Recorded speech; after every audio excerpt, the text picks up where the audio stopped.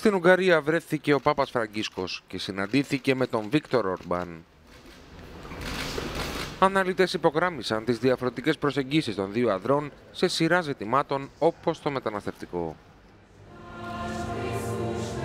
Είναι η πρώτη επίσημη επίσκεψη του Ποντίφικα στο εξωτερικό μετά την εγχείρηση στην οποία υπευλήθη στο παχύ έντερο τον Ιούλιο.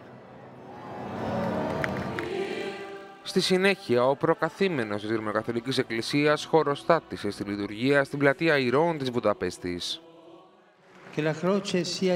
Σας εύχομαι ο Σταυρός να είναι η γέφυρα μεταξύ του παρελθόντος και του μέλλοντος. Το θρησκευτικό συνέστημα ήταν η ζωτική δύναμη του έθνους αυτού και είναι εγγενές στις ρίζες του.